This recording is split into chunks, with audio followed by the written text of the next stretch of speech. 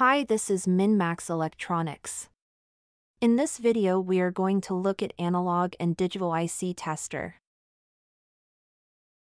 MME-ADIT 40 is the microprocessor-based IC tester from MinMax Electronics. It functionally tests a wide variety of digital ICs up to 40 pins and linear or analog ICs up to 20 pins.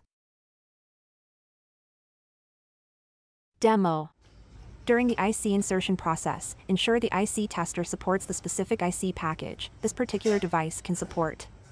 74 series of TTL ICs, 40 and 45 series of CMOS ICs, microprocessors, peripheral ICs, EPROMs, RAM ICs, operational amplifiers, comparators, transistor arrays, optocouplers, analog switches, multiplexers, voltage followers, timers, crosspoint switches, ADC, DAC etc. In this case for the demo, we are testing IC 7400.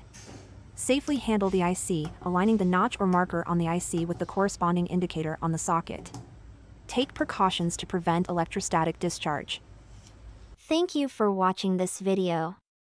To purchase this product, call us or log onto www.minmax.co.in.